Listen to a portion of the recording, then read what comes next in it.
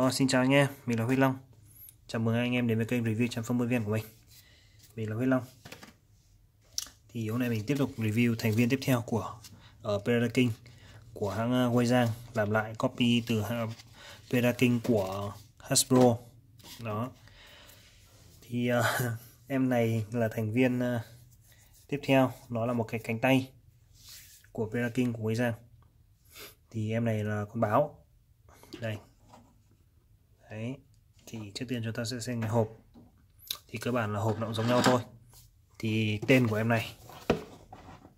Đây. Saber Tooth Saber Tooth Tooth là cái răng này. Saber là cái gì đấy? Mình không biết. Rồi thì hình của nó đây.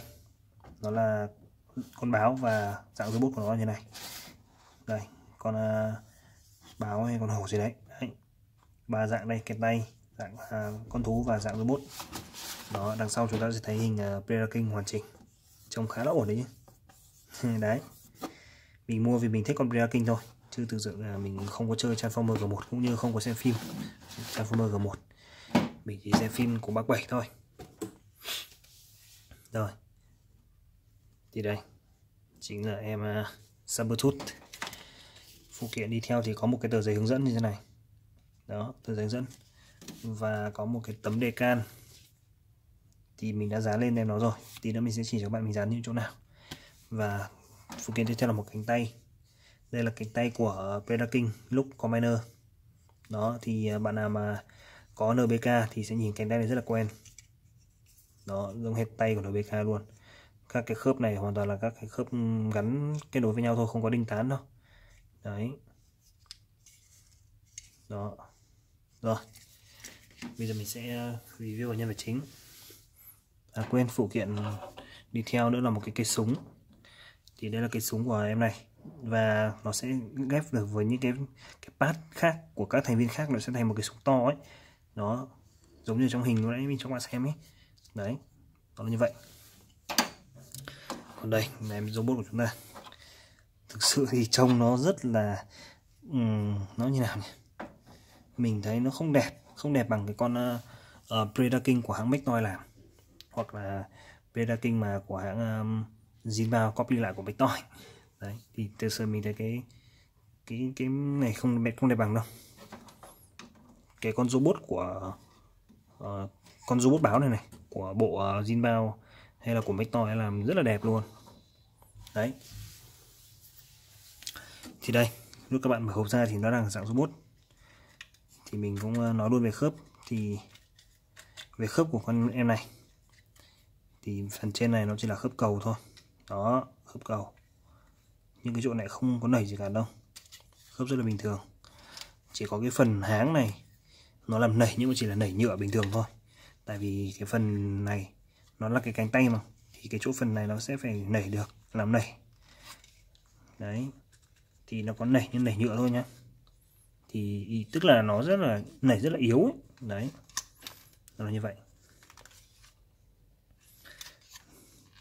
Bây giờ mình sẽ uh, đây là đang ở dạng robot này.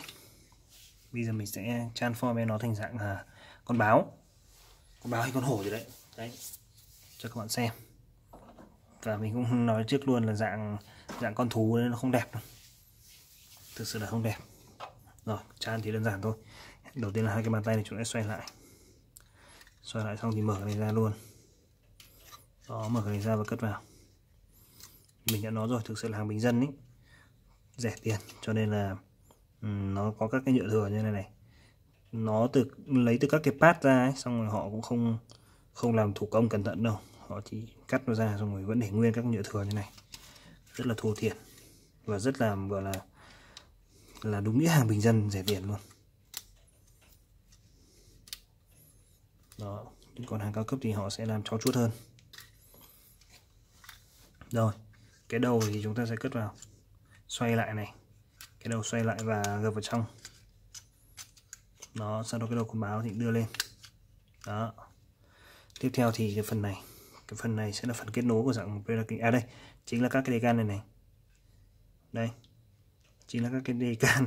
Đề can trông cũng chả đẹp đâu. Rất chi là là cùi bắp, mấy cái đề can đây thì mình nói rồi. Bạn nào thực sự thích breaking thì hãy mua con này.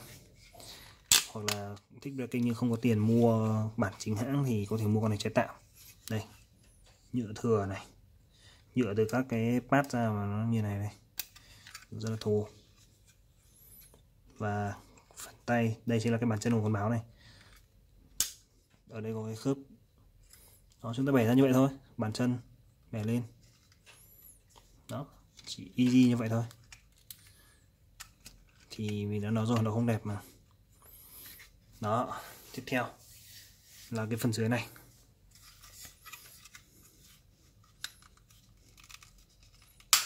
Đó, chúng ta sẽ bẻ. Đây đây có cái ờ, g và chỗ này, có cái chỗ để ghép lại.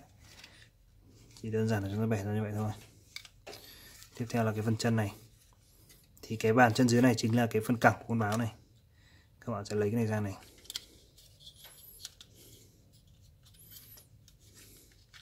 Tiếp theo mở cái này ra. Và gập cái này lại. Đóng lại luôn. Thực sự là chăn form thì con này nó cũng đơn giản thôi. Không có cái gì là phức tạp rất là easy. Và tiếp theo chân mình lại như vậy. Chúng ta sẽ lấy cái chân ra đó. Mở cái này ra này. Gập ngọn nó lại này.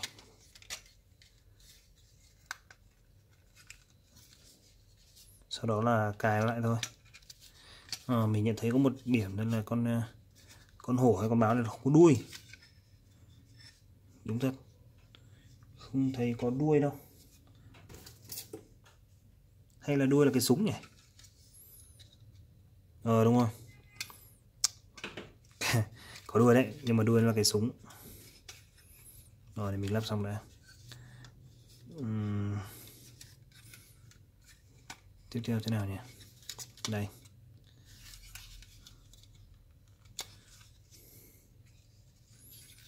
Xoay cái này lại không phải xoay.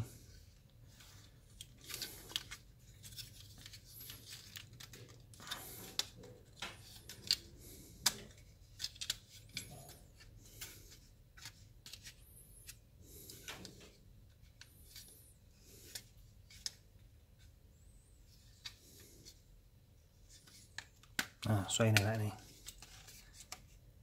Đó. Tức là như này nhé các bạn nhé mình vừa có hơi nhầm lẫn một chút. Đó lúc đầu nó sẽ là như này. Đấy. Thì chúng ta sẽ về xoay lại như này. Đó như vậy mới là đúng. Như vậy mới là đúng nha.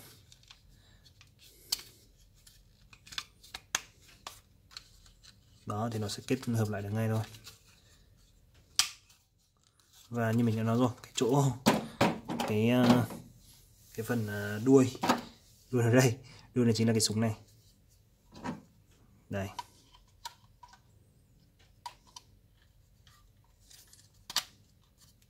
Đó. Như vậy là mình đã transform xong. Em ờ, em hổ báo cáo trồn đây. Đó. Nó trông như vậy đấy các bạn đây thực sự là mình đã bảo là không đẹp mà. Đó, trông nó sẽ như này. Đây chính là em sai Sabertooth. Đó. Rồi. Thực sự thì cái cái bộ này thì mình nghĩ là chỉ đẹp ở cái dạng breaking hoàn chỉnh thôi.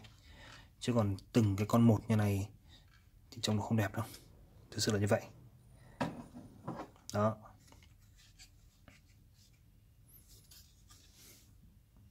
Rồi khi nào mà đủ là năm thành viên thì mình sẽ làm một cái clip uh, hợp thể cũng như là hướng dẫn các bạn transform từng cái bộ phận một tay chân thân đấy sau đó hợp thể lại thành ờ, uh, breaking hoàn chỉnh.